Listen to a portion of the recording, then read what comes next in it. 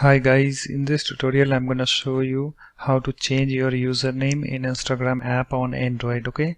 So this is my Android device. So just find your Instagram app on this okay? So here is my Instagram app. Just tap on this to open it. And after that guys just log into your Instagram account. You can see that I'm already logged in. So in order to change the Instagram username just tap on your profile icon at the bottom right. So let me tap on this profile icon okay and here I have this profile screen opened okay? And guys if you have more than one account configured in the app just tap on the account name at the top. And after that just choose the account that you want to change okay? So I only have one account so let me go back okay?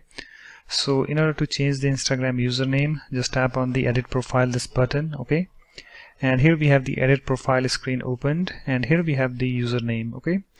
So just tap on this in order to change it. So currently I have this 1690 Rajesh as my username Instagram username okay?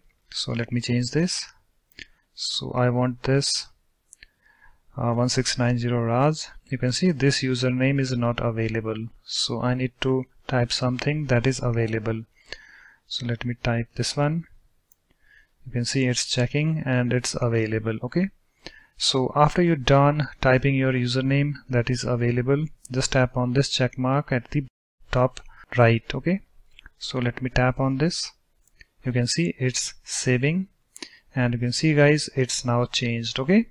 So guys that's it. In this way you can easily change your username in Instagram app on Android. So thanks for watching. If you like my videos please support this channel by subscribing to it. Thanks. Bye bye